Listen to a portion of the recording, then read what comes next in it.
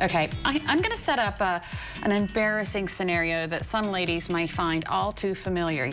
You're playing with the kids in the yard. You go to run or jump, and then you feel it, a little dribble of urine, or, or you're at the gym and you're doing jumping jacks or some other kind of jumping exercise, and you wonder, do I need adult diapers?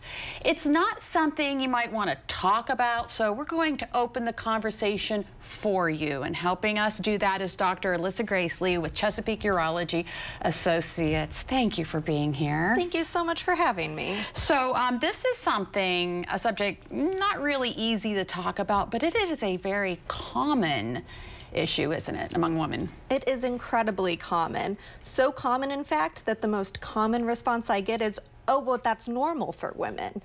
It is common, but not normal. One in four women over the age of 18 experiences leakage of urine. Mm -hmm. So what causes it? So there are two different types of urine. The type that you were alluding to just now is what most women think of, and that's stress urinary incontinence. So that's leakage with anything that increases our intra-abdominal pressure, laughing, coughing, sneezing, exercise, and it's due to weakness of the pelvic floor and loss of support support. Mm -hmm. And um, you're a fellowship-trained uro urogynecologist. Yes, it's a mouthful. it is a mouthful. What does that mean? So um, basically what it means is I did some extra training after my urology residency to help women deal with these embarrassing issues, leakage mm -hmm. of urine, pelvic prolapse, things like that. So we help women get dry and, and go back to enjoying their lives. So how is that done? What do you do? There are lots of options, not quite as, you know, basic as when our mothers were our age. Um, it can be anything as simple as exercises or pessaries, which are inserts. And when those don't work or are not a good solution, we have procedures, simple five-minute office-based procedures or surgeries that can help with the leakage. And you've obviously treated many women.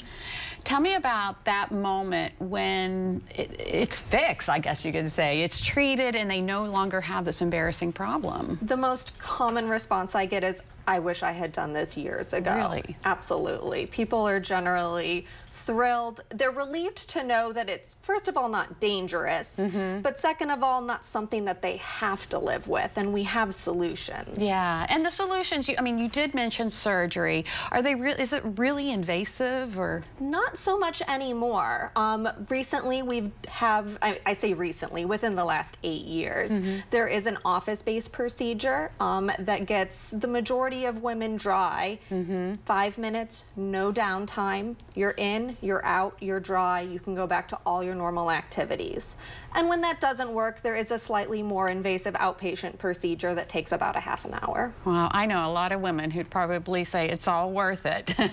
so how can, if, if somebody's interested in getting a hold of you, make an appointment, what do they do? Well, I believe our information is on your website, mm -hmm. so they can go to the Delmarva Life website. Mm -hmm. um, we also have a couple local offices here in Salisbury and in Berlin um, at Chesapeake Urology Associates. Chesapeake Urology. Dr. Alyssa Gracely, thank you so much. An thank important you. topic.